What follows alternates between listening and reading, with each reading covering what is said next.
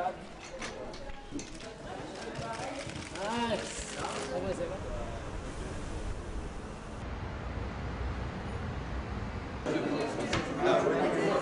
it was less expensive. Well, one, it was a little cheaper.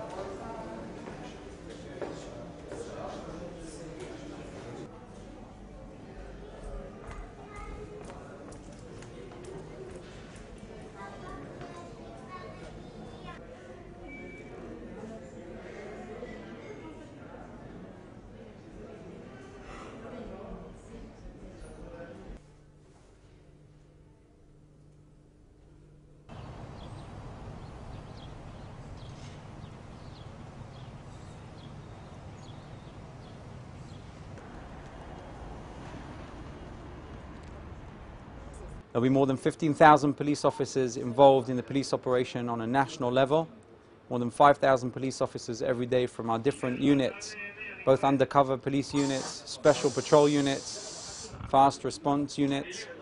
And uh, as far as we're concerned, full coordination is taking place between the Israel National Police and American security and internal security.